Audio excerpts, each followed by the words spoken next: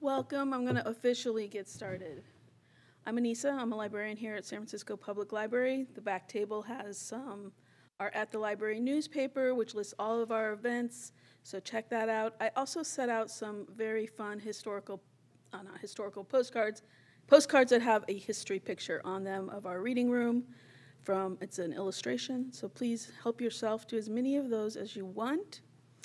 Um, our library wants to acknowledge that we occupy the unceded ancestral homeland of the Ramaytush Ohlone peoples, who are the original inhabitants of the San Francisco Peninsula. We recognize that we benefit from living and working on their traditional homeland. And as uninvited guests, we affirm their sovereign rights as pe First Peoples and wish to pay our respects to the ancestors, elders, and relatives of the Ramaytush community. In April, we're so lucky to have the Sogorea Land Trust join us in a wild and fun hybrid Zoom action live. So we'll be zooming in everywhere, but also be live. You could go sit at the Excelsior branch and watch it. So exciting new ways to share programming with everybody. Um, what else do I want to tell you about? We have several reading campaigns happening at the library. On the Same Page is a bi monthly read where we encourage all of you to read the same book at the same time. For March and April, in uh, connection with Climate Action Month, we have Dry by Neal Shusterman, and it talks about it's a fiction, two weeks in Southern California where the water is shut off. So, very interesting um, tale. Check it out. There's a book club associated with it. And we do that bi-monthly, so check the, on the same page. You can pick it up at any one of our 28 locations, bookmobiles, place a hold, all of that good stuff. And then, of course, we do have a lot of um, great events coming up. We are back to in-person again, so thank you for joining us and gathering. I think it's really important. It was, um, you know, I always thought of the library as the third place, and us gathering and then going into COVID how do we rethink that? So, and how do we come back from that? So, thank you for being here.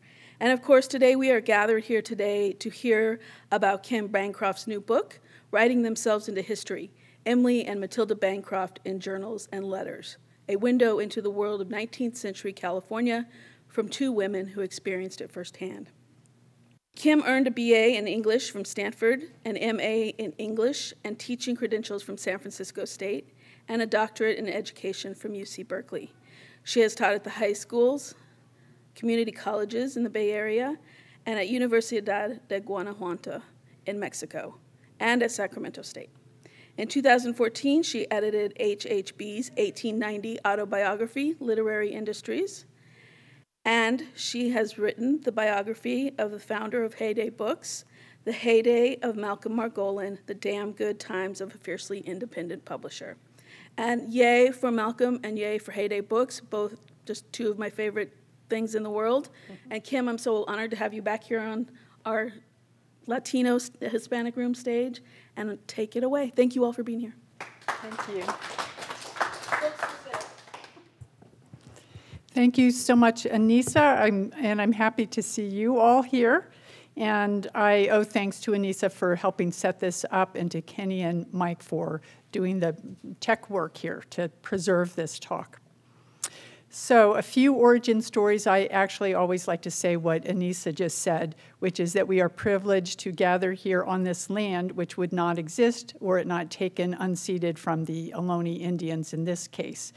The stories I'm sharing with you come from all across the West, which belong to Native peoples, and then to the Mexican people next in line who had their lands taken. So I think it's important that we remember our debt to them and that Native peoples are continuing to thrive.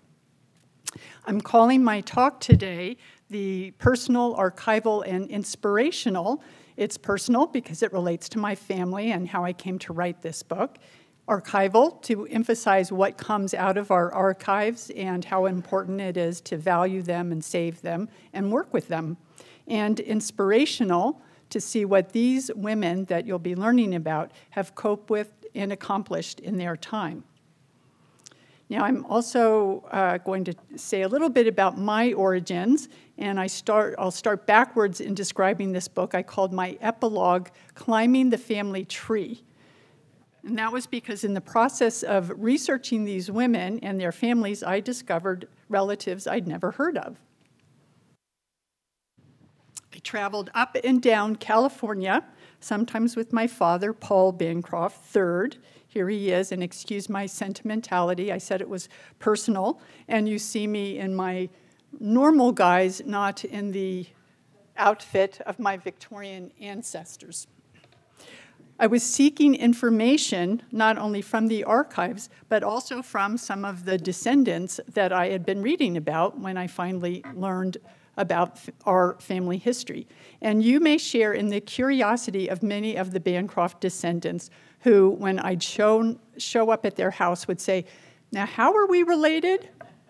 So I created a ginormous family tree, and this is only half of it actually, because I took off all of the other uh, descendants from it. But um, I would often say, Well, here you are, and here I am. So they would see that there was some relation. In fact, here is Hubert Howe Bancroft. And then his first wife, Emily, who passed away in 1869, she and he begat Kate, Catherine Ketchum. Seven years later, he married my great great grandmother, Matilda, and they had four children Paul, Griffing, Philip, and Lucy. And Paul became Paul Sr., and there's my father, and there am I at the bottom with my three brothers. And here are Matilda's four children. The origins of my curiosity about the women in the family came in 1966 when my father, Pete, asked Jim Hart, the then director of the Bancroft Library at UC Berkeley, to give a tour to my father, my mother, my older brother, and myself. I was about eight years old at the time. So Mr. Hart walked us through the huge and mysterious labyrinth of the stacks in the basement of the library and then stopped by a few very old books with faded leather covers. He said that the books had been written long ago by our great great grandmother Matilda about her children in the 1880s. So randomly, Mr. Hart pulls out one diary and opened to a page and read from the book that Matilda had written about her daughter Lucy. Matilda was describing a scene in which Lucy's three older brothers were setting off for Walnut Creek when it really was just a creek and not a town, to find toads and fishes. At about age four, Lucy wanted to go too, but they didn't want her to lag on, as they said, and not keep up with them. Matilda, in this diary that was read to me when I was eight, wrote that Lucy was found on the road, quote, screaming at the top of her voice, the boys running on ahead. Mama Matilda felt sorry for what she called the harsh unfeeling treatment of Lucy's brothers. Well, I also had three brothers, obnoxious, and I also knew what it was to face some limitations as a girl. I never forgot that impromptu reading. So imagine how magical it was to reconnect with that same book 40 years later and many other writings by Matilda. That was because of Theresa Salazar, the curator of Western Americana at the Bancroft Library. And that is yet another reason why I love libraries. At an open house in 2008, following the Bancroft Library's renovation, Theresa was standing by an exhibit of Matilda's first diary, a page pictured here. Note her neat cursive, unlike my own. Theresa said, Kim, you should come in here and read your great great grandmother's writings. She was a writer in her own right. I did as commanded. And was Theresa ever right? It, it, an amazing plethora of diaries and letters were available to me. Once I began reading some of Matilda's diaries, I encountered names I hadn't recognized from my then known family tree. So I went back to the source H. H. Bancroft's 1890 autobiography. This is the 39th of his uh, volumes on the history of the West called Bancroft's Works. This one is Literary Industries. And he, in this, he discusses how he founded the Bancroft Library, but before that, how he came to California in 1852 and his whole very interesting life story. Here, I discovered that he'd had a first wife. I had not even known that he'd had a first wife and a prior daughter before the four children I had heard about. She had virtually disappeared from the family lore by the time I was grown up, as had Emily's daughter, Kate and as had Matilda's daughter Lucy. So, why had these women disappeared? Because, in all honesty, in a family dominated by a patriarchal man, the daughters mattered little when property and power were going to be passed off to the sons.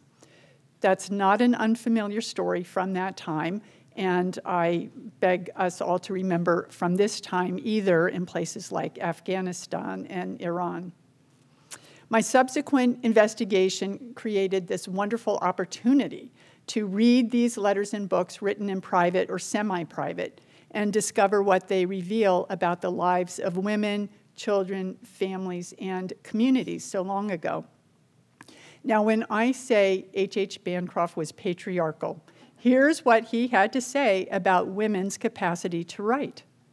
Writing, he said, is hard work, the hardest of work, not for frail and tender woman. Constant pressure on the brain, constant tension of the sinews is not for women. Yet he had two wives who wrote prodigiously, conveying substantial information. They described the social realities of their times, what they experienced, including race and class relations, their feelings when confronting hardships, and they had many, the nature of childbirth and child rearing in the late 1800s, what life was like in the still nascent dune filled city of San Francisco, along with travels and travails far beyond the Bay Area. Despite H.H.'s critique of women as professional writers, we know he did encourage Matilda to write about her experiences in these diaries. And because he was an archivist and a publisher, he made sure that both wives' writings were preserved, for which I am enormously grateful. How many of us can know in such detail the worlds of our great great grandmothers or even our mothers? Now we have these two well developed characters from the past who shed light on their strengths as they face the complexities of their lives. So I'll share a little about each one and first poignant M as I think of her. In 1859, H.H. Bancroft had a San Francisco store for selling books and stationery that eventually became the finest on the whole West Coast.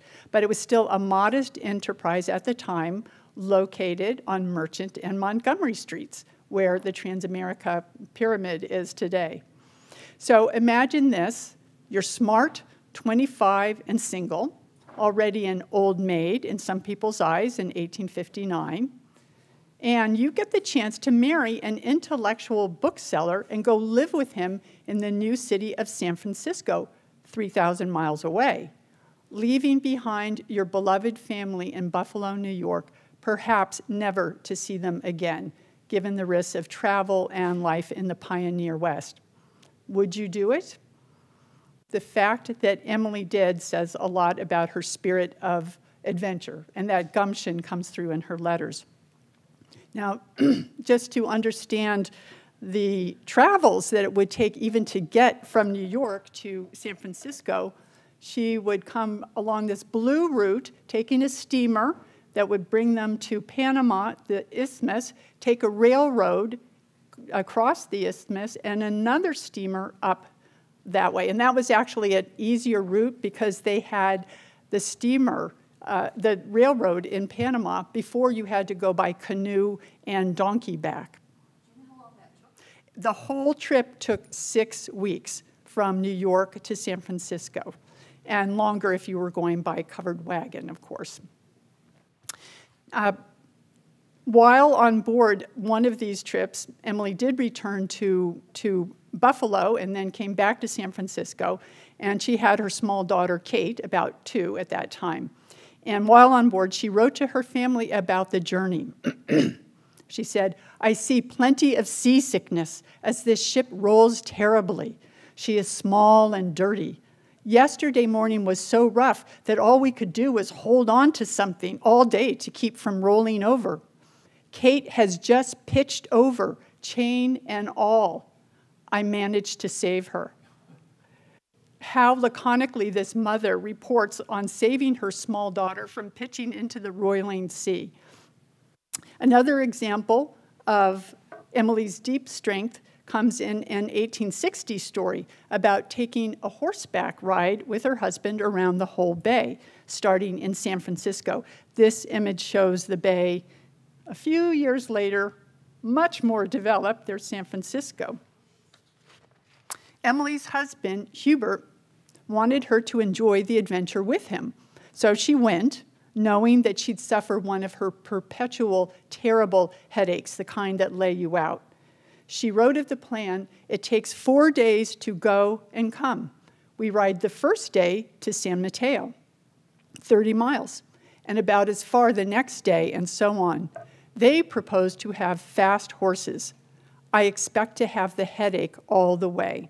But as Hubert has talked a great deal about that ride and seems rather disposed to go, and as I won't be in the fashion until I've taken that trip, I suppose I must. Emily had a no nonsense side to her. This image shows Russian Hill in 1855, a few years before Emily arrived. Note the dunes. Early in her life in San Francisco, she sent home a letter disparaging the way women in the city seem to be, quote, so dragged and tired out. I believe it is the hills. They are very tiresome. You can't go anywhere here without toiling up a steep hill somewhere. And when a lady returns from a trip downtown, she is tired most to death.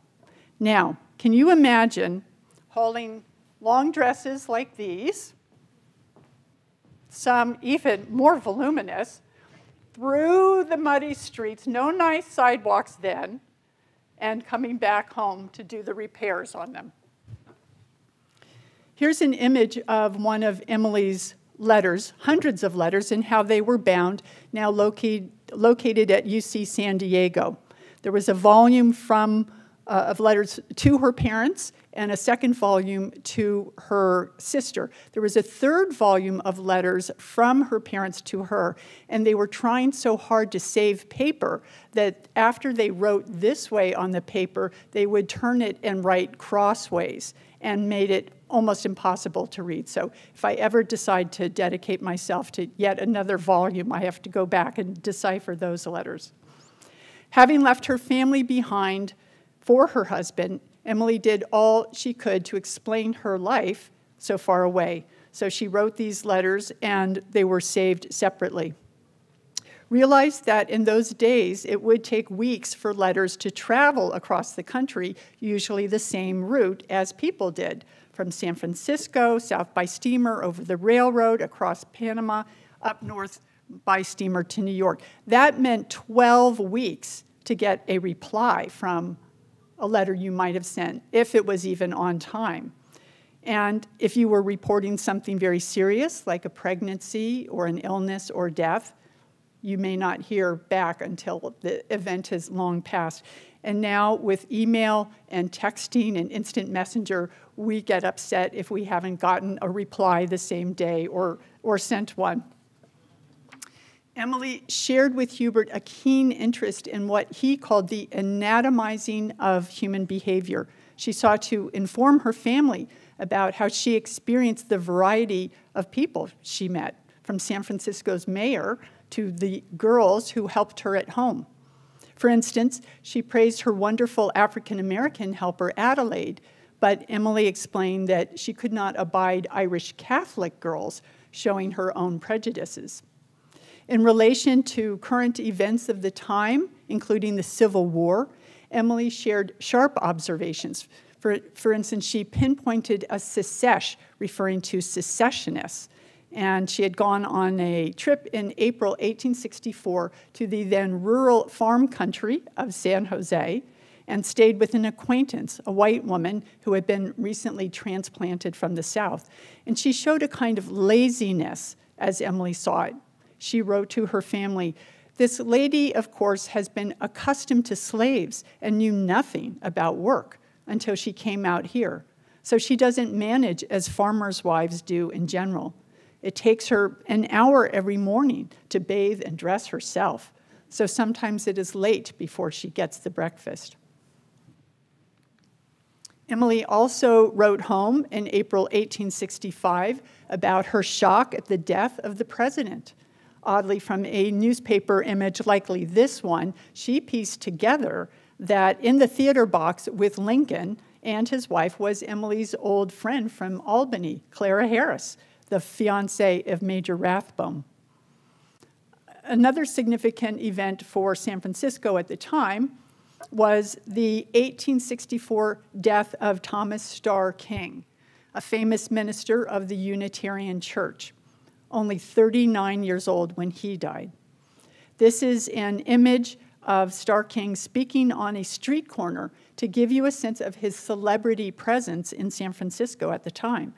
Emily sought to bring her family into the moving scene following his death. She wrote, We've heard this morning that Starr King is dead. I could not believe it at first. He was a healthy looking man. I believe his disease was diphtheria.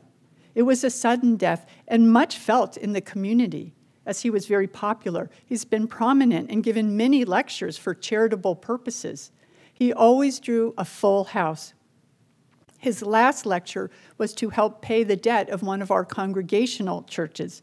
The flags all over the city are at half mast for him. Life in the 1860s had its particular dangers, just like today. Emily wrote about what happened to a riverboat that she almost took from Auburn near Sacramento on her return to Oakland. One like this I was intending to go home Thursday, but Aunt said, Stay until Saturday. That boat that went down Thursday night blew up.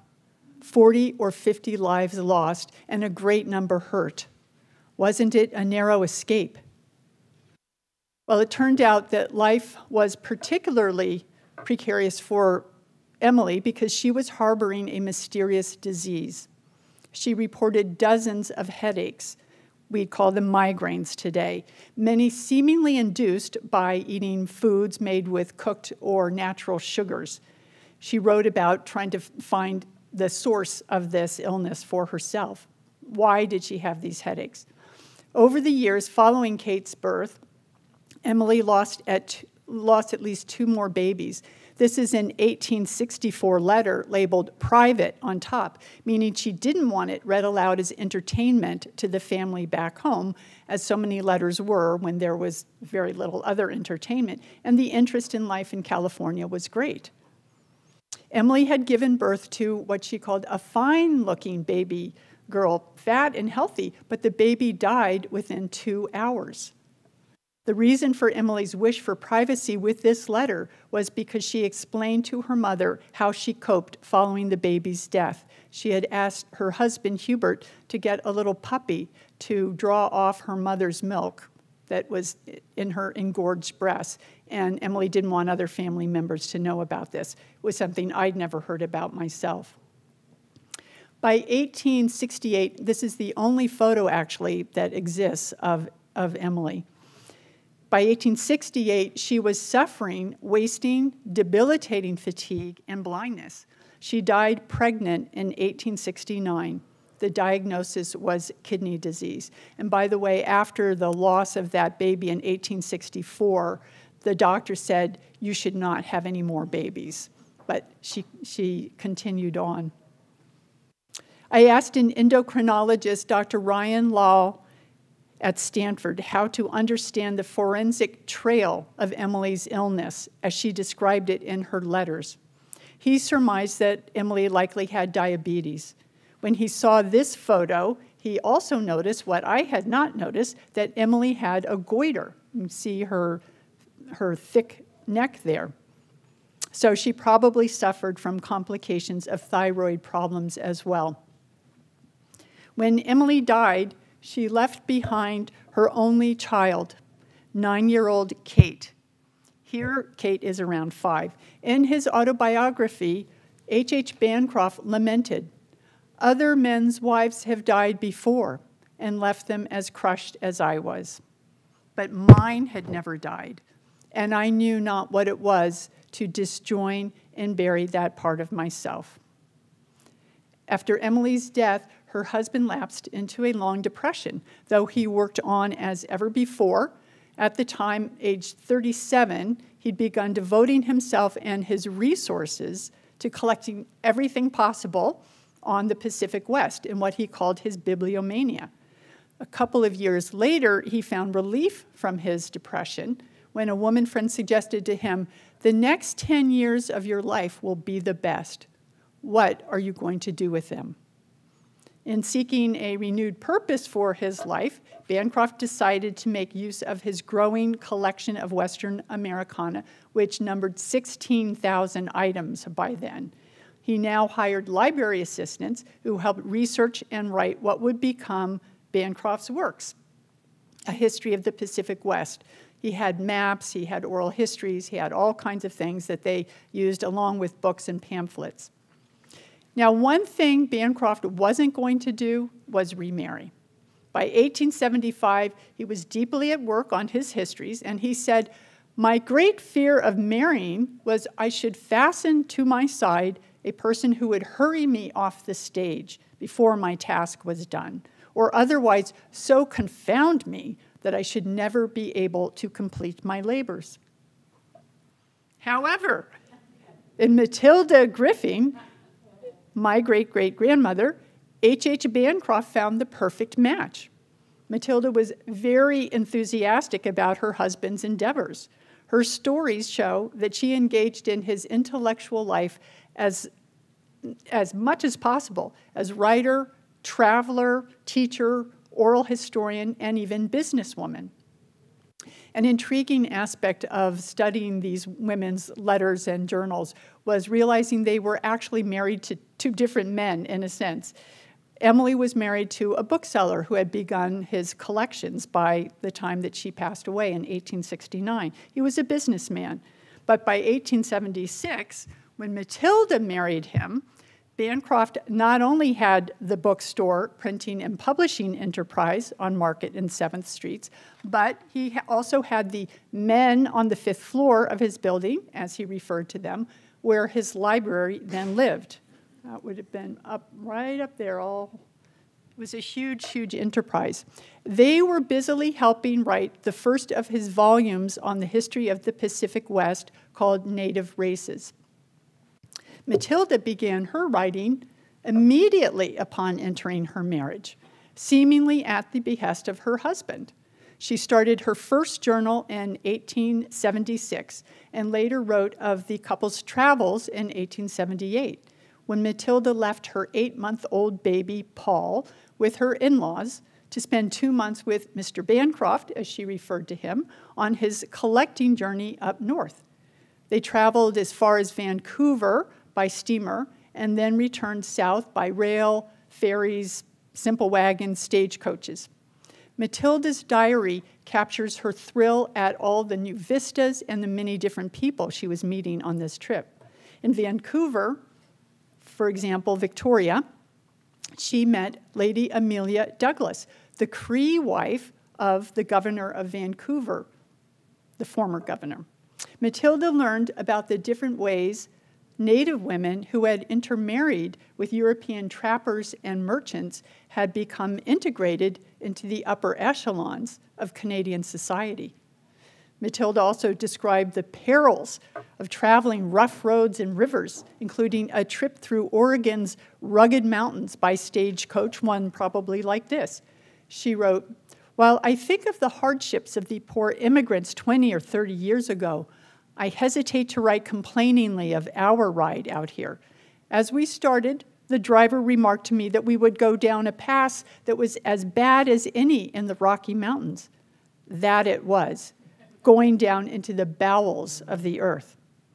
She noted drolly how the driver seemed to enjoy making the voyage seem even more dangerous and frightening by remarking that his wife would, his, his horse would easily shy. She wrote, It would get awful scared, said he, and its collar don't fit correctly, so it might slip off. I mildly suggested, But your brake will be your dependence. No, he replied, That's no good. I told them today 'twouldn't hold and ought to be fixed before we started. Matilda concluded wryly, I think our driver wanted to impress us with his skill in conquering great difficulties. Matilda wrote five other journals, including one for each of her four children, begun at their births and continuing through the first 10 years of their lives. Accounts of the cute things they'd say and do, what they studied under her tutelage because they were mostly homeschooled, and the mischief they got into, and with three boys, it was phenomenal, including burning down a barn. Matilda also used these journals to remark on where the family traveled and lived, including when Papa journeyed to gather sources for his histories. Matilda's diaries had practical uses as well. For example, Philip, the youngest son, often had severe respiratory distress. When Matilda finally consulted an expert doctor, she wrote, He was very much interested in the sketch I was able to give him of Philip's condition from his babyhood. I made it out from this journal, which he said was a remarkable diagnosis for a layman. Who would keep such a record but a mother? Matilda also recorded the varied remedies prescribed for her children's ailments. And you may have tried some of these with children in your life brandy, wine, electricity, arsenic, laudanum, and cocaine. Different times for all the many details that Matilda was capturing about each child and their whole family, note that these children were born less than two years apart.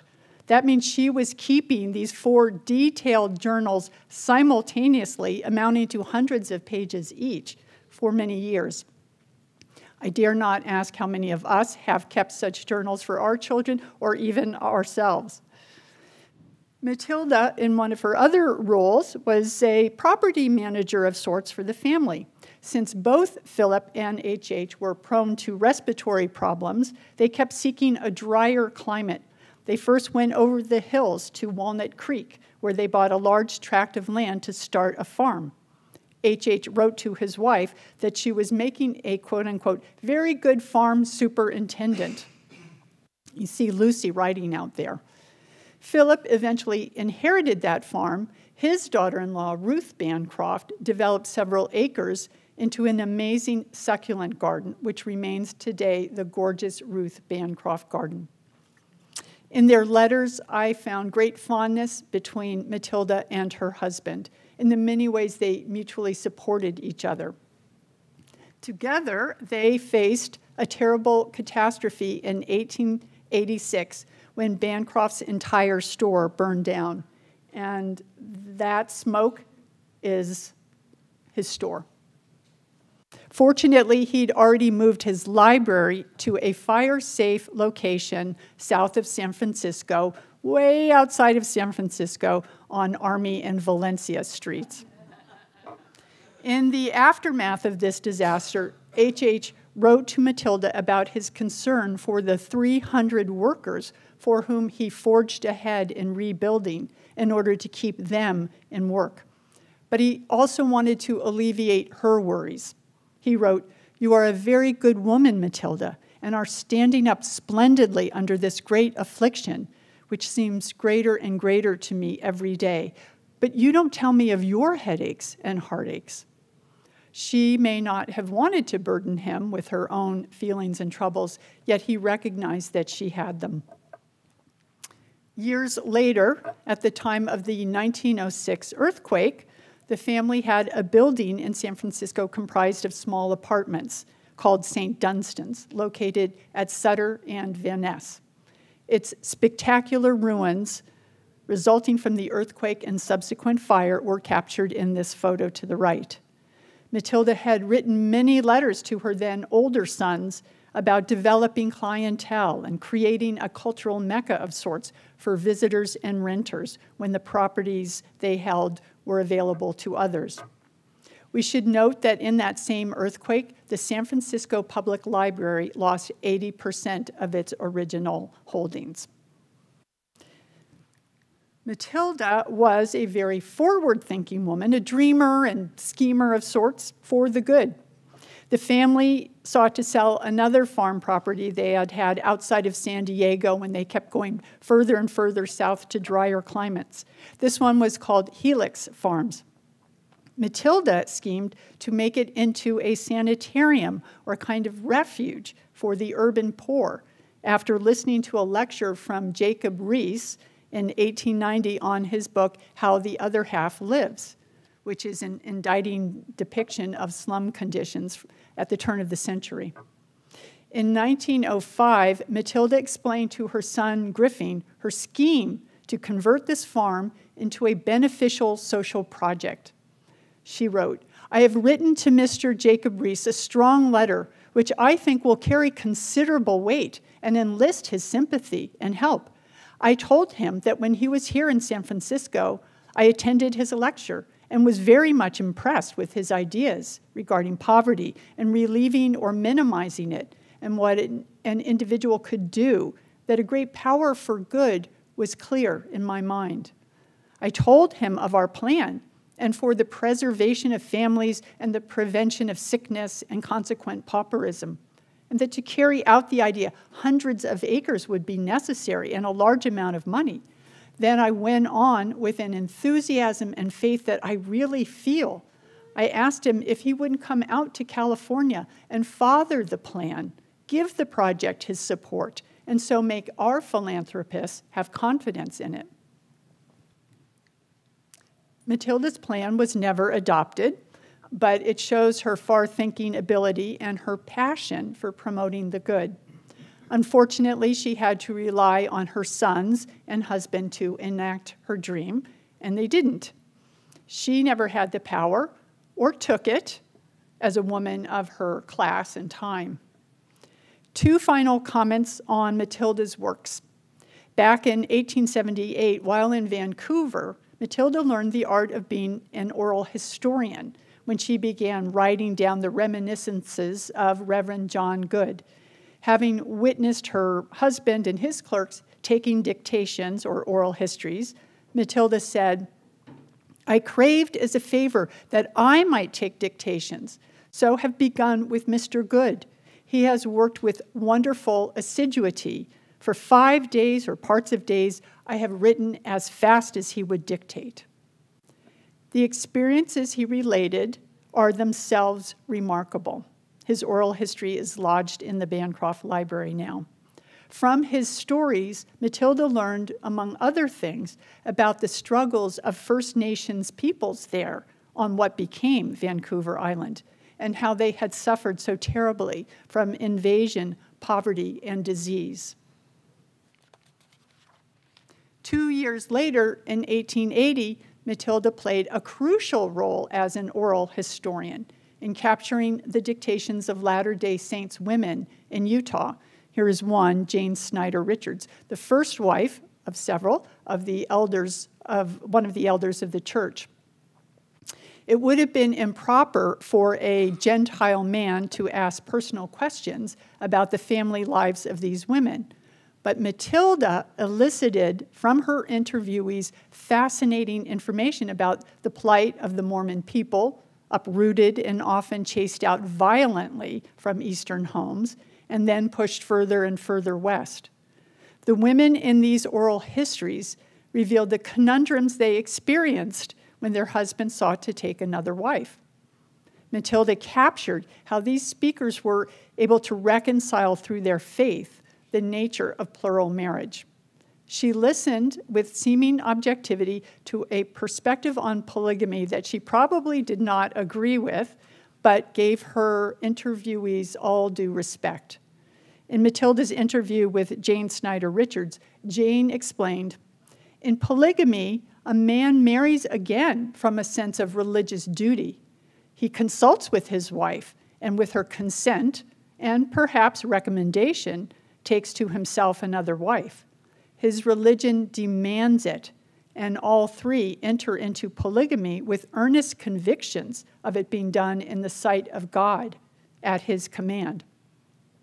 From Jane, Matilda learned that one purpose of plural marriage was to provide a husband to women who had been widowed. Jane said that after her brother in law's death, I gave my sister to my husband as a wife. Now we were able to do much more for her comfort. It wasn't easy at all. Matilda also captured the sometimes painful details of entering a plural marriage, such as these lines she wrote about Jane from a separate interview.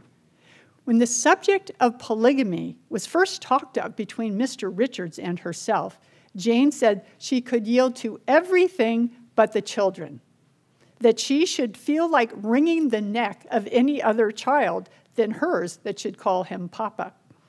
However, with time, she saw clearly that it was in accordance with Mormon teachings, and it was not such a trial as she had feared when she was first tested. These stories about the sister wives are truly amazing.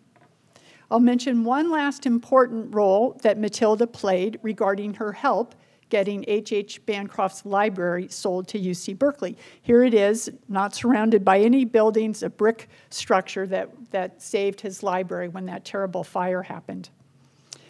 H.H. Bancroft actually gave his wife credit for her contributions to the sale of the library for she herself had gone out to meet UC administrators and faculty in order to convince them of the value of her husband's collection. Yes, he had old newspapers and maps and pamphlets, but it wasn't all trash. It was very valuable, and she had the idea to enhance how his collection might help future generations. Indeed, it does. In September 1905, in a letter to his son Griffing, H.H. exhorted him to work as hard as his mother had. And he said, as an example of, of his wife's industriousness, he said, Work hard as your mother does in selling the library. The library was indeed sold in November 1905. Months later, in April 1906, when that terrible earthquake devastated San Francisco, Bancroft's library was safe at the southern edge, and in May, one month later, its contents were ferried across the bay to UC Berkeley. Here is Matilda with my grandfather around 1909. Sadly, in 1910, Matilda Bancroft died relatively young at age 62 of angina, a heart attack. Her husband was already 78 and he'd live another eight years. H.H. was described in his earlier life as a man of tremendous strength and energy, which empowered his grand visions and projects. I think he may have just tuckered out his wife, who was small of stature and who had hinted in her own writings about some of her own internal ailments. But Matilda was huge of heart and ambition herself, and now we have her words to prove it. Now, you can find out a little more information about my talks. There, some of them will be different from each other, and my blog, in which I encourage everyone to capture our stories and dig through archives. On a couple of the blogs I've already written, I wrote in particular about a wonderful man named Darryl Babe Wilson and his contributions uh, to this earth by sharing his memoir and Malcolm Margolin, who also I was able to, to collect some of his stories. So I end with this, this great energy for asking everybody to go out and save your stories, save each other's stories, and uh, figure out what you can do with the old letters and archives that will be of value at some point. Thank you so much. And I believe we have time for questions if anybody has any. And it's so nice to see so many of you here, and Greg.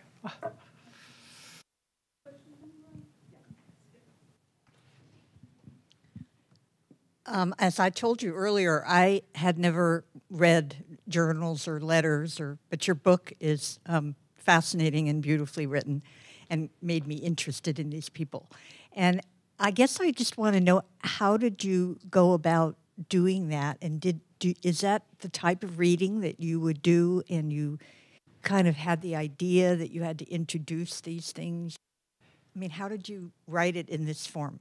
Well, I will actually on, and you'll see on my website on the events page, there's a, a roundtable that anybody can access via Zoom on April, I think 11th at the Bancroft Library, and it's titled Out of the Archives and Into a Narrative. So I will focus on that all then, but I will give you a little hint. Um, basically, when, when Theresa ordered me into the library to read these works, I had no idea what was going to come of them. And I ended up, as I was reading them, I, I, was, of course, personally interested. And then I had to go to San Diego and read Emily's letters that are all there. And as I, then I just, I just started typing. I just transcribed, because you can only read them in the library. And I transcribed and transcribed. And after a very long time of collecting these stories, I thought, well, would anybody else be interested in reading these stories? And if so, how will I make sense of them? And I didn't want to just present them in chronological order. Emily, in particular, she would write, she'd start at the top and say Tuesday and write maybe two paragraphs. And she'd say, uh, my husband's coming home, I need to get dinner fixed. And then it would be Wednesday. She called them journals because she would try to write every day. But it would be a little, perhaps, chaotic to show just that chronological order. So I thought, I want to help make sense of this by putting together the information as I did in the chapters. So Emily and her life and the family life, then the other people that they knew, and then their travels. So I picked themes that looked like they could go together. And then as I was writing them, they clearly needed some elucidation regarding some of the people she referred to and or the events and what they they might mean that we wouldn't really know about in the you know from the 1860s. If that helps.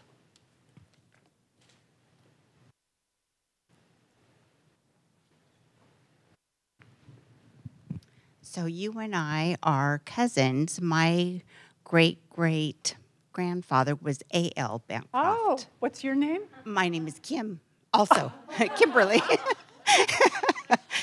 yeah, so it's, uh, and this is my granddaughter. Uh, so we're, I think, seven generations I counted. we're debating whether it's seven or eight. So, um, gosh, it's wonderful to be here and listen. You know, I've grown up, we have a lot of H H's uh, works. Uh, at her house uh, that my mom collected. Great. And, who, who, was your mother? So my mother was Suzanne Gerard Bancroft. Mm-hmm. So there was eh, um, Albert had I think five children. Mm-hmm. My great grandmother was Alberta uh-huh. Bancroft uh, Reed, and then she had one daughter who was my grandmother, uh, Frances Ann uh, Reed. So. Well, yeah. I'm going to see if I can go back to so my aunt, as luck would have it, she lives here in the city, and she saw that you were speaking today, oh. and sent it to me. I'm like, oh, well, let's go because we both live in Oakland. So. Oh, great. Well, I'm trying to go back to. I think you came in a little late. We did. We were having so a horrible time finding At the very beginning, right? I know. I, I'm, I'm, I'm dressed for St. Patrick's Day. Uh, right. I did not know it was happening. I didn't Because we didn't, we didn't celebrate it back in my day. Yeah. but I did show at the very beginning this uh, family tree, and it was even more complicated. I have other versions, and so there is actually the man she's talking about, Albert Little. Yes. So Ashley, Azariah, Ashley, and Lucy Howe were the progenitors, and they had these children, and there's um, Albert Little. Actually, this one passed away in two years, and they named the next boy after him as well, which I don't know if you knew that. Yes. And yeah. they, um, so I have, I have been in touch with other relatives. So we'll be in touch. Yes. AL actually was very important, and H.H. Bancroft made sure to employ and also house as many of his relatives as he could. But he had a falling out with AL that became very famous.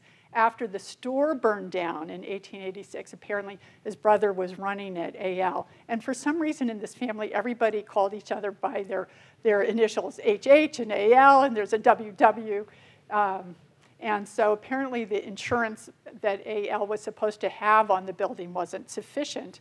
And HH became somewhat curmudgeonly in his latter years and held that against him. Yes. yes. But we still love each other through the generations.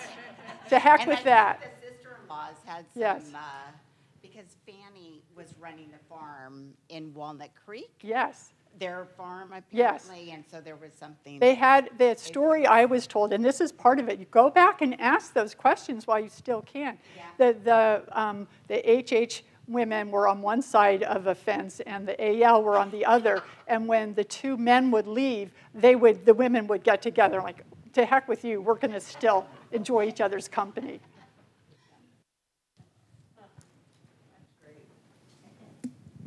Um, I wanted to ask you about people who are current, like uh, diarists and, and journal writers. Um, like that you can say a lot of this because the people are like not alive. And um, you know there's a lot of secrets in families you know and not like the total secrets but they're not talked about. Like i mean I- my family's catholic right? We have um, you know suicide abortion um, pedophilia incarceration i mean endless list of things that are um, not talked about in my family and everything. So like do you encourage people who who wanna like to tell stories to like fictionalize it or um, you know how, how do you do truth telling and uh, protect the guilty or not go to not not be uh, not be indicted or something and protect the, in, the innocent who might be affected as well. Well, for example, I showed that one letter that was labeled private, and Emily's one of her, her descendant that um, would have cared most about it, who's 90. I went to her and I said, I'd like to publish this in the book. And she, she was actually against the fact that that letter had even been collected and put in all of the letters that Emily had because she had written in that letter about having had to use a puppy to draw off her mother's milk after her baby died. And so I asked her permission. I said, May I put this in the book?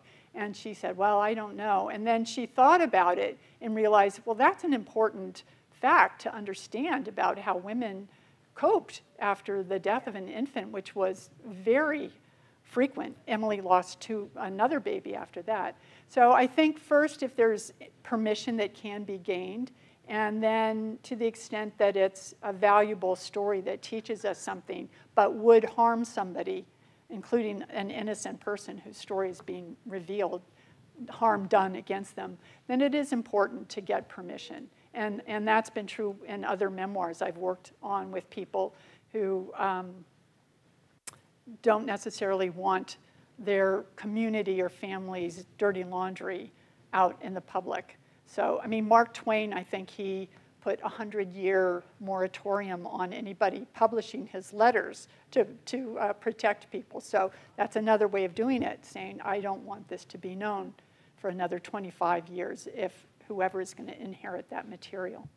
I don't know if that helps, but I, I think the most important thing is to write one's truth and then figure out how you need to protect people because expressing that truth is so valuable.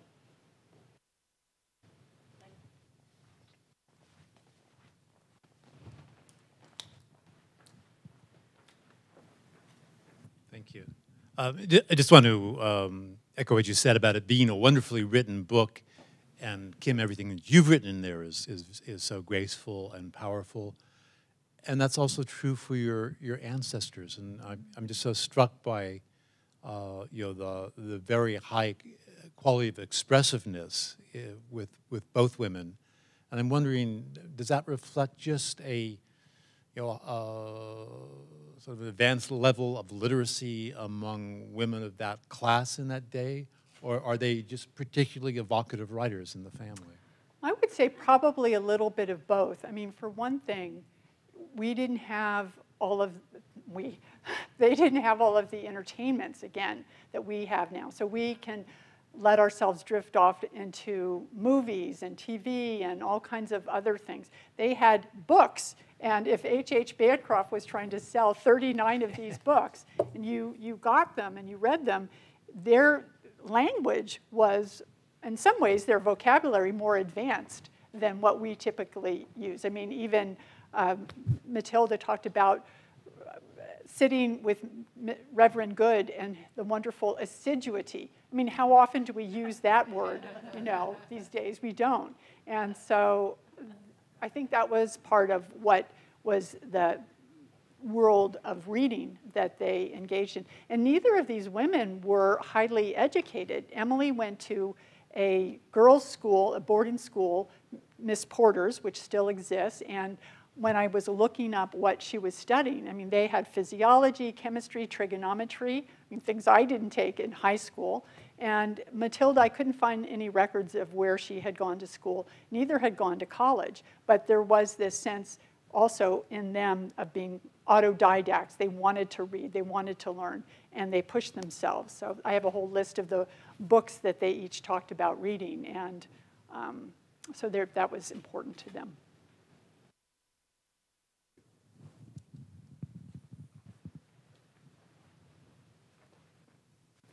All right. Thank you, Kim. That was really a wonderful presentation. We appreciate it, and we appreciate you all being here today.